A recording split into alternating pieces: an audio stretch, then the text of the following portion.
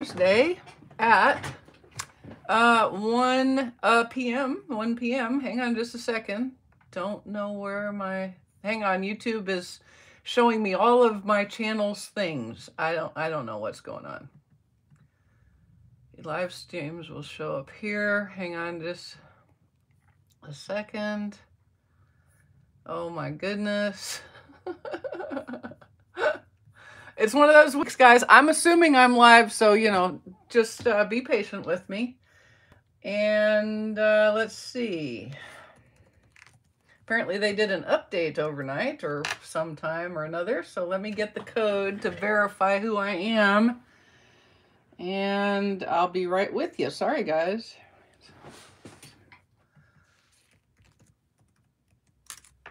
It has been a week, let me just say.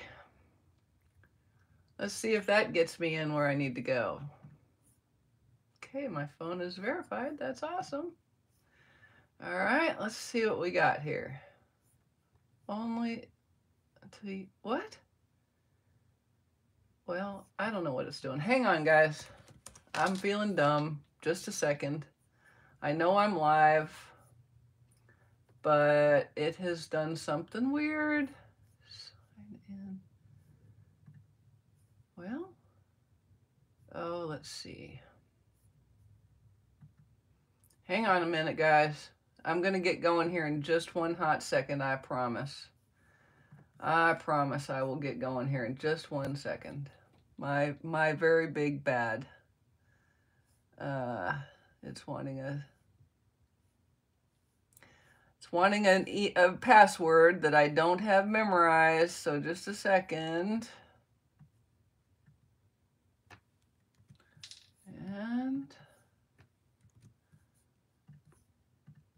The good news is, is when there's knots in the floss, there's knots in the floss, right? I mean, why wouldn't there be knots in the floss? Oh my gosh. I have no idea what is going on here. okay, well, I'll tell you what I'm going to do. I cannot see anything. I can't see anything. I don't know what the heck is going on. So I'm going to just make the card. And if you guys are here, I appreciate it. And um, I'm sorry, I cannot see any comments. So if you've got a question, I'm so sorry. I, I just can't see it because it's only on my phone not on my computer for whatever reason on the planet, and I don't know what the deal is. I really don't. Uh, let's see, how about if I change that? Try doing that one. Let's try that one. Hang on a second. I might, I may get it licked. Hang on. I may, oh, I think I'm going to get it licked. I'm going to figure it out. You won't best me, YouTube. Boom chakalaka. Here we go. Phew. I am so sorry, you guys. this week has got to be almost over. Hello, hello, hello. All right, now I can see you. I'm so sorry. Thank you, Anne. I appreciate that very much. Okay, so here's our card for today. Gosh, it uses, I've gone back a little bit to the annual catalog, to the very pretty pansy patch uh, stamp set, and dies. This is no longer bundled, but you can still get both pieces, and they are lovely. Look at the pretty flowers you can make. And then my friend Brian King made a card this morning with the layered stripes, which reminded me that I had this cool backgrounds, and I decided I would use it. This is in the miniature catalog, the mini catalog, if you will. I know you could have sang a whole song. Hey, Anne from Northern Ireland, welcome. And I've also used one of my favorite go-tos, the scalloped contours. If you don't have scalloped contours, I promise you, you really want to get it. Okay, so since I only wasted like four minutes of your time, let's go ahead and get going. This will all be on my blog tomorrow, so you don't even need to worry about taking notes or anything like that. So the first thing we're going to do is I'm going to use my Stamparatus and the layered stripes, this is a background stamp. So I do like to use a Stamparatus for it. It's just a lot easier for me. And I've got a little bit of repositionable um, adhesive there because it's such a big stamp you can't really put magnets on this on this right what we're going to do today is a little bit of emboss resist the way to do that is um, the uh, we're going to emboss this layered stripes in clear embossing. And then when we uh, do a little sponging on it, the ink will not stick to the embossed areas. So first I'm going to put a little bit of that Versamark on. Use my two, my uh, embossing buddy. We'll just put a little bit on. Now this is a bigger panel than I need for our piece. So I'm just going to do the embossing, do the sponging, and then cut it out, okay? All right, there we go. And when you do this, just to be sure you've got a good image, you can kind of um, rotate the Stamparatus so that you can see that you've got inked all over it. You probably can't see this online, so I'm sorry about that. We'll take that off, and I am going to wipe this off. Versamark can be kind of sticky, gooey, gummy, and so I like to get it off at least a little bit right as I use it. Okay. Cut it out, Mary. I know, I know. All right. So let's close that. And while this is still wet. The Versamark stays wet a little longer, but you still don't want to like go have lunch or anything, you know. I'm going to pick it up and sprinkle my clear embossing powder all over the design.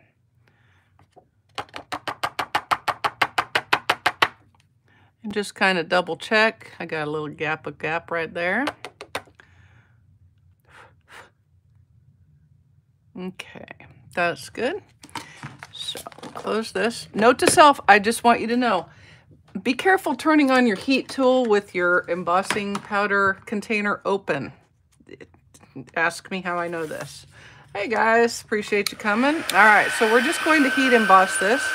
Not sure if you can see it, but it takes a second for it to start. It has to get hot enough. And you just want to hold the uh, tool steady. You don't need to do all that with it. Just hold it steady. And the way you're going to know is when everything turns shiny. Okay? Once it all turns shiny, then that means it's all embossed. That is the magic of embossing. Can y'all see it kind of changing up there? You probably can't because of the way the light is. I'm sorry, but it is doing it, I promise. And so we're just going around moving the heat so that we can get everything melty. Remember too that embossing powder, while it's still hot, after it's melted, it will smear. So you want to be careful to not smear it. Don't check it by rubbing your fingers over it. It's counterproductive, I promise. All right, let's go here and we'll get the other half done. All right.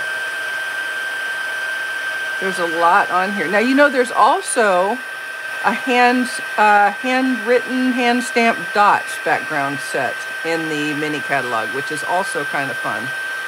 I debated using it, but I thought this one would be cool with the pansies. Hey, Barbara. Hi, Jenna Marie.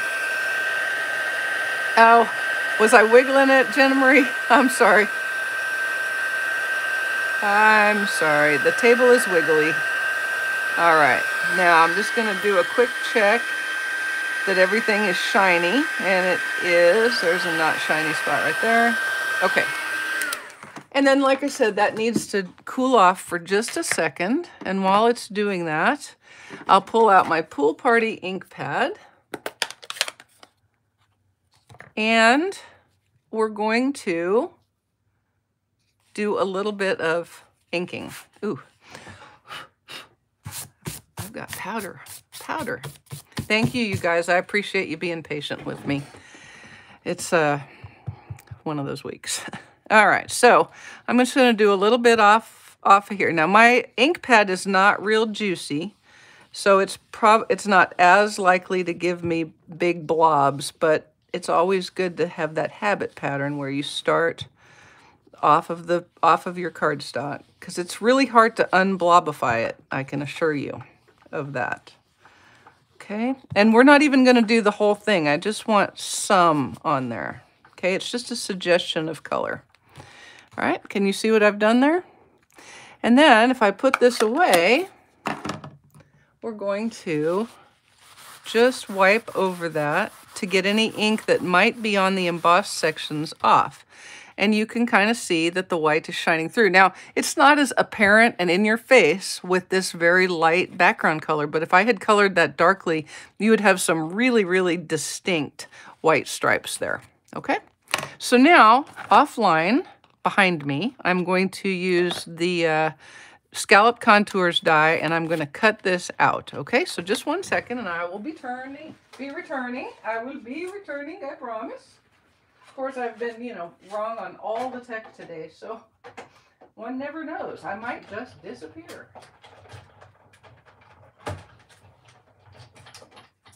All right, here we go. And I got a little bit of, must be time for a new cutting pad because I'm getting stuff on it. Okay, so this is essentially what I'm going to build to now because all it's going to do is go on a basic white um, cardstock base. Okay, so we've done a little bit, bit of cutting, and by we, I mean me. We have made, I am going to be making, I don't know where this we came from. I do not have a frog in my pocket. All right, so we're making Orchid Oasis pansies and Mossy Meadow and Old Olive leaves. And I've got a little bit of Starry Sky for those little middle pieces that look like little people with, um, you know, eyes and some flower centers as well. Now, I'm just going to say straight up, if I put any pansies on upside down, just don't tell me, pretend I did it on purpose, okay? just pretend I did it on purpose. So let's go ahead. We're going to do some liquid gluifying here, and I'm going to put these little accent doohickeys on their petals. And we're just going to use our tweezers and some liquid glue. I do need to sing. I need to come up with something to sing, I guess. I don't know. If I was Julie Andrews, it would be probably time for a Whiskers and Kittens but I'm not. I'm not gonna. I'm not gonna lie. Right at this moment in time, I'm not really feeling the songs coming. So I don't know. By the time we get done, hopefully the power of creativity and creating and being with you guys will do its job, and I will spontaneously break into song, and you just will not know what it is I'm going to sing. Maybe all I'm going to sing is what I'm saying to you. I don't know. So we're just using a little liquid glue. You don't need a ton, but you kind of want to get it where the little ends are and the little edges are so that it will stick. You could also do this in a con contrasting color.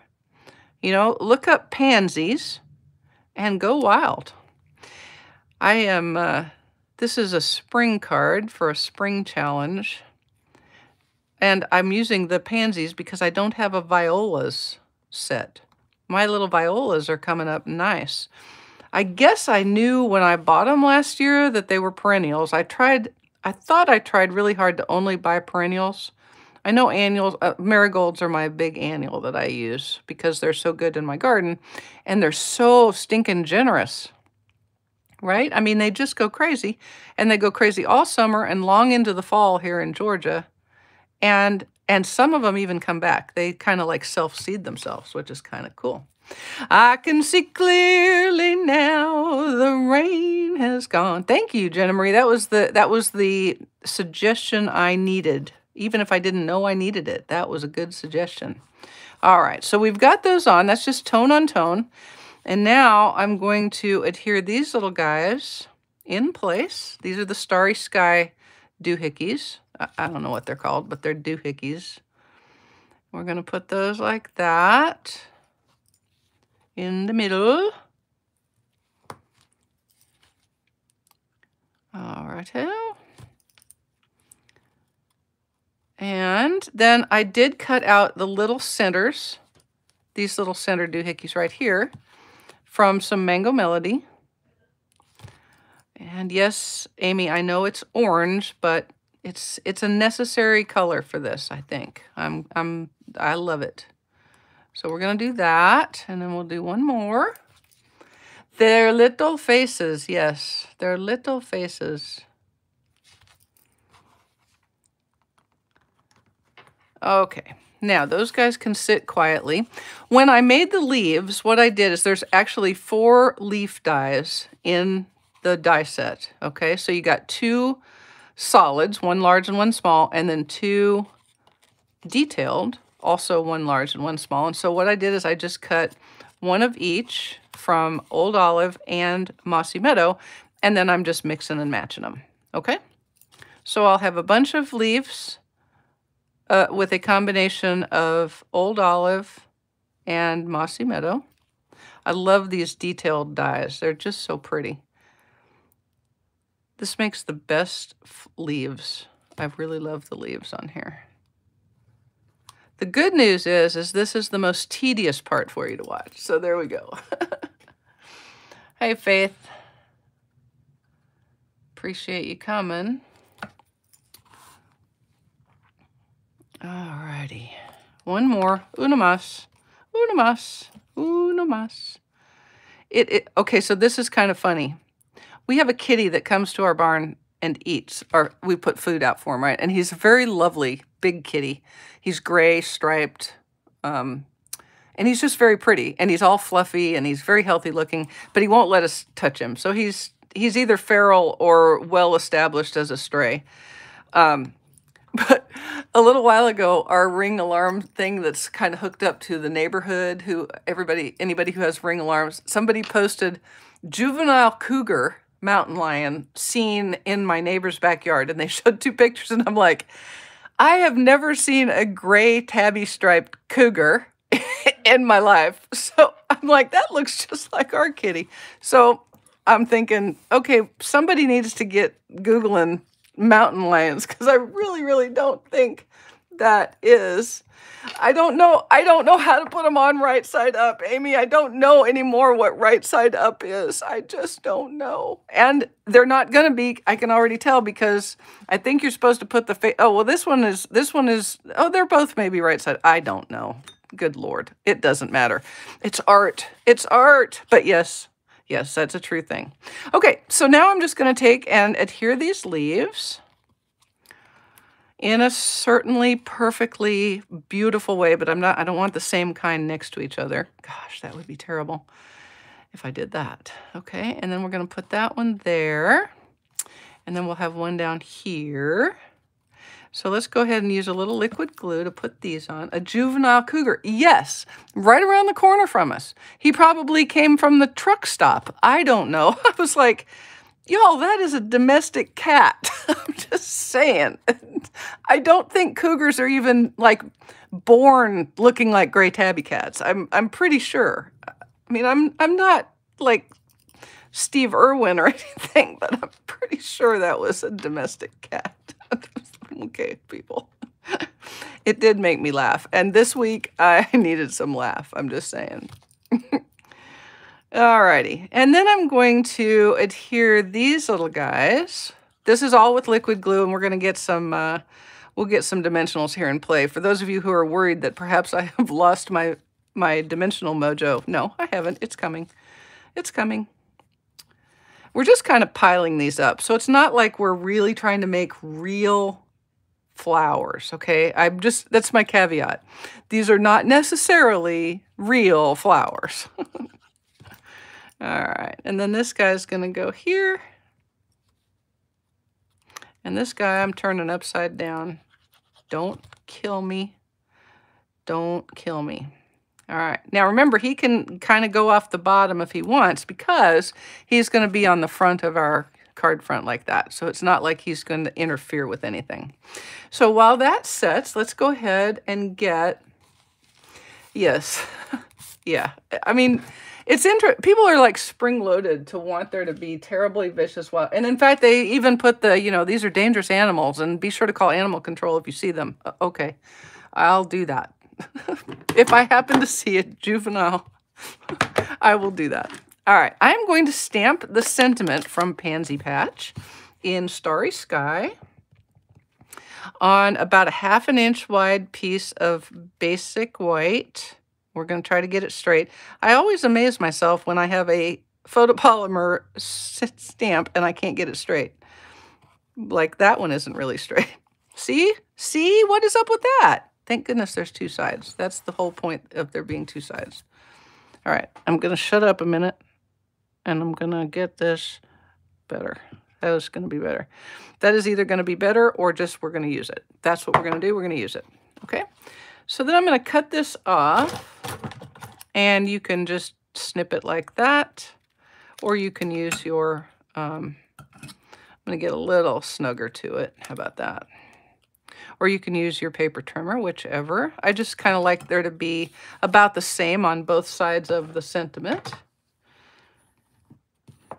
Okay, and then I have a half an inch piece of old olive from the Regals DSP, and I'm going to make it about the same length, but a little longer.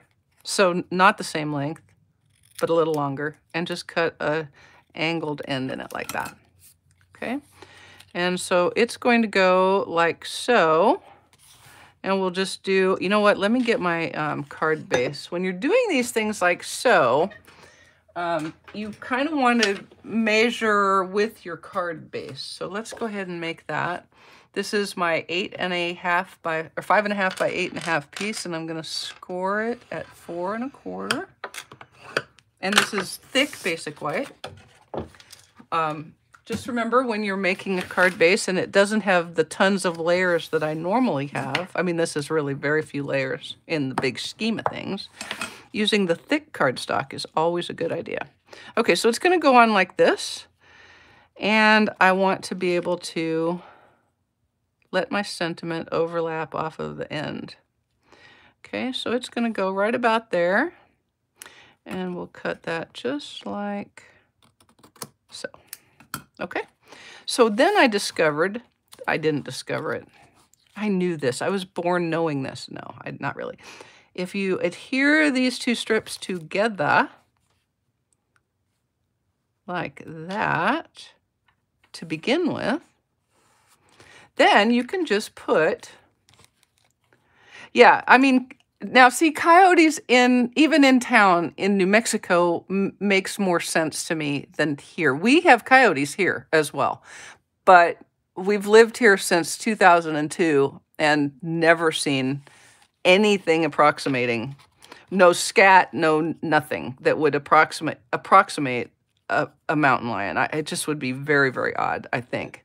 So I'm I'm going with it wasn't a mountain lion because I need it to not be a mountain lion this week. You know what I'm saying? Just this would just not be a great week for this to be a mountain lion. Oh, before I do that, let me do my bow.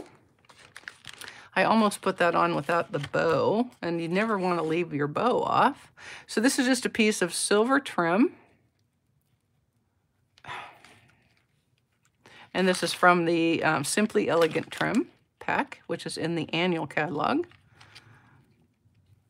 And I'm just tying a simple, simple bow, which may, begs the question, why is she having such a hard time with it if it is so simple? Hmm. Things that make you say, hmm. Okay, so this little guy's going to go right here, and I'm going to use a glue dot. I did actually use a little dabble of, um, a dab of liquid glue on my sample, and you can certainly do that, and it does make it a little less standy-uppy, which is code for thick, but it also takes a minute to dry, and so just for the sake of this, we're going to do like so. And I like when we have this kind of a, of a deal going on. In fact, I'm going to go ahead and adhere this to the card front right now.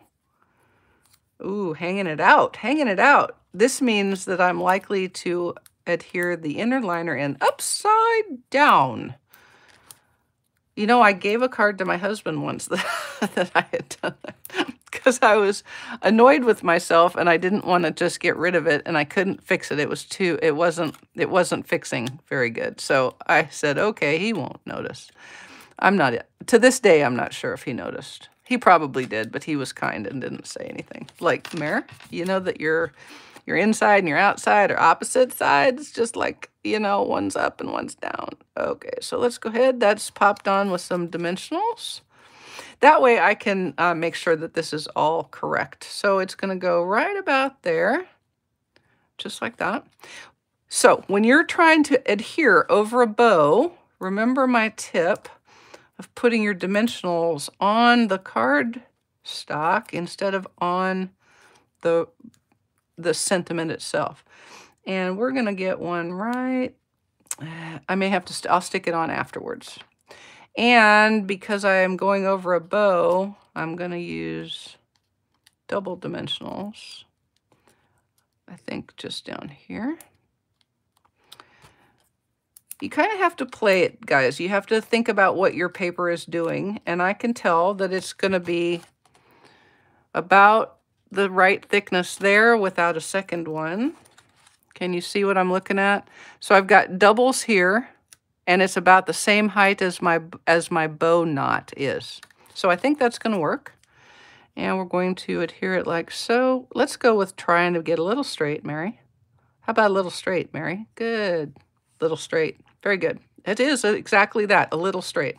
All right, so to finish off, I'm going to put a couple of rhinestones. Hi, Linda. Appreciate you coming. Just a few rhinestones. There's a rhinestone cowboy. Dun, dun. That was one of my favorite movies ever. I don't particularly care for Jane Fonda, but, you know, Robert Redford and a really nice looking quarter horse. So it was a good movie. I, I mean, you know, it wasn't a great movie, but it was a good movie. And if you like horses and Robert Redford, done. All right, so there's our front. Let's go ahead and get the innards in there. And let's see, where is my cardstock? Here we go. I've just got a piece of basic white. And let's see, I'll get my, I'm going to be all efficient and stuff. Okay, so we're going to stamp a pansy. I'm going to use the larger pansy flower, and this is the solid piece. So we're stamping him in Orchid Oasis on the envelope and on the inner liner.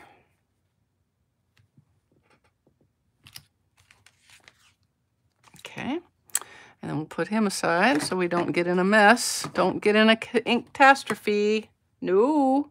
Oh, I don't need to get rid of him anyway. I need him back. And then I'm going tone on tone. Okay. So this is the detailed version of that same flower. So it's a two-step stamp, and I'm just going right over the top, again in Orchid Oasis.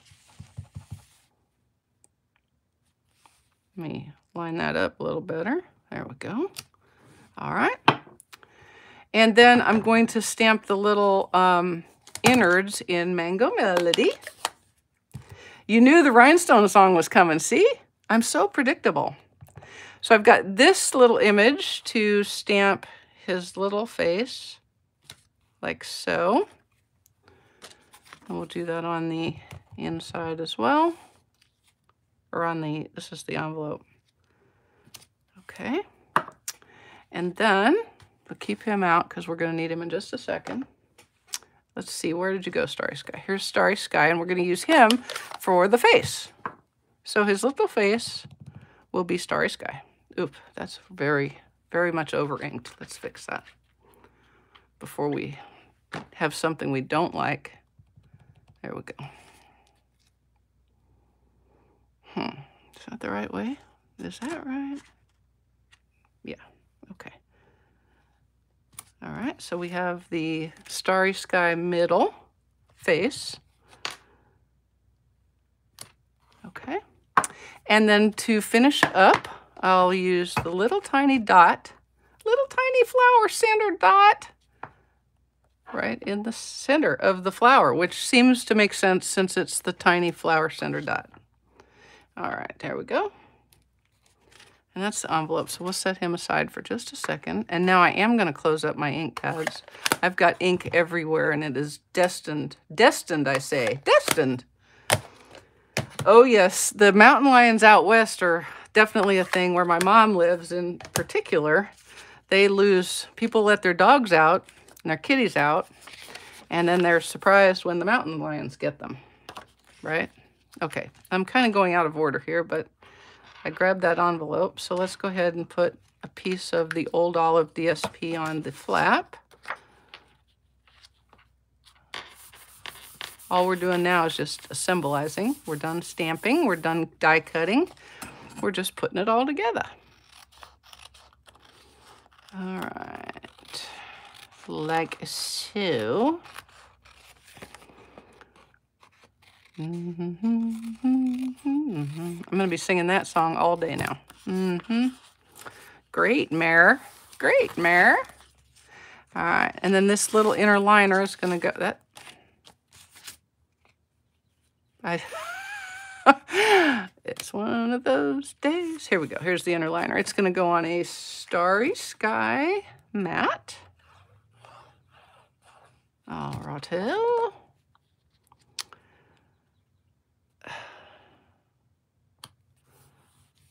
Raindrops on roses and whiskers on kittens. All right, and then we'll put it inside our card base, and we're to be done. All right, hotel. These are a few of my favorite themes. You're welcome, Amy. I knew you wanted a little bit of a repertoire from The Sound of Music. I know how you feel about that. It's your favorite musical ever ever. All right, and there we go. So, Pansy Patch from the annual catalog. It's easy to lose track of the beautiful things in the annual catalog, but you know it's coming to an end on the 1st of May. So, um, if there are things that you don't have from there, I don't know what's retiring. I will know what's retiring on the 29th. And um, as soon as I'm able to share that with you, I certainly will. But anything in the annual catalog, anything in the mini catalog is certainly on the chopping block, if you will. All right. I have no idea what's carrying over. I will learn at the same time you do. Also, don't forget the in colors 21, 23. Those are all going away almost certainly. All right. So be sure to get your ink pads, your ink refills, and your cardstock, and any markers associated with them so that you don't miss out on your favorite in colors. Let's have a moment of silence for them because they're awesome. Okay. Appreciate you guys. Appreciate your patience. And I will hopefully see you on Saturday. Enjoy the rest of your week, y'all. Bye-bye.